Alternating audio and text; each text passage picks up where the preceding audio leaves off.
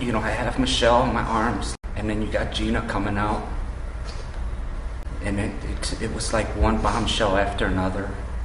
That's when I broadcasted, you know, out of 23. We found them. We found them. New video shows the raw emotions of the officers who were first on the scene and found Amanda, Gina, and Michelle. Paul Kiska is live on 5 on Seymour Avenue. And Paul, this video is hard to watch without getting emotional.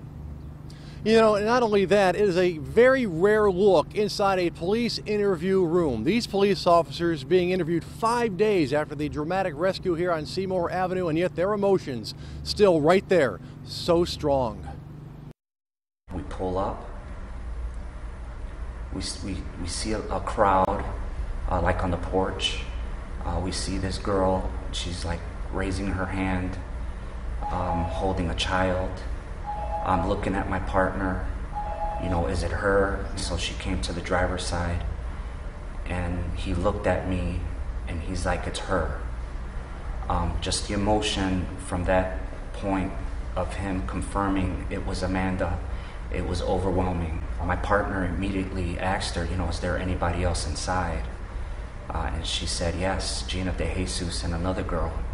And it was like another bombshell, just, just with overwhelming force, just hitting me. Uh, as we were going up the steps, it was so quiet, like peaceful, almost as if, you know, I, I started thinking, okay, all we're gonna do is clear this top floor. Nobody's gonna be there and, and just leave.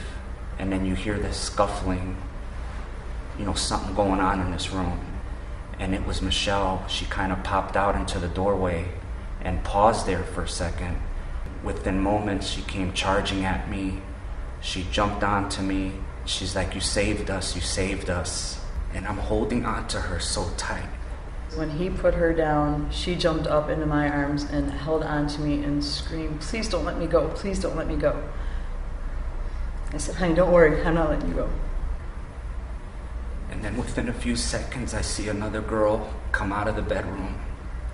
I just look at her. I, you can immediately tell who it is, just thinner.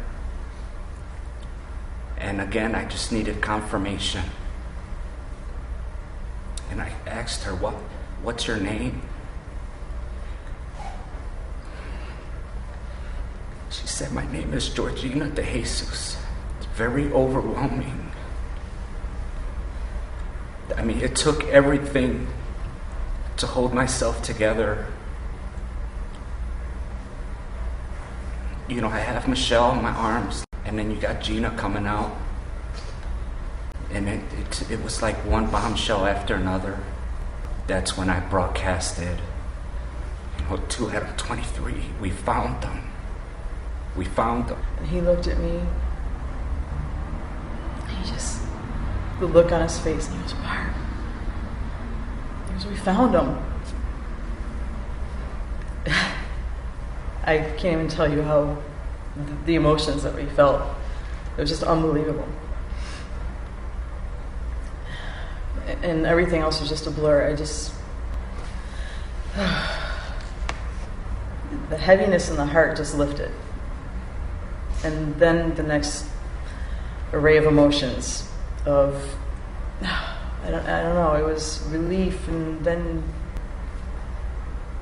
you just don't want to think of what happened to them so you just keep thinking positive and wanting to just encourage them that everything that they're safe now and everything is okay. The description of the suspect and the vehicle they were able to locate him at 32nd and Clark and McDonald's.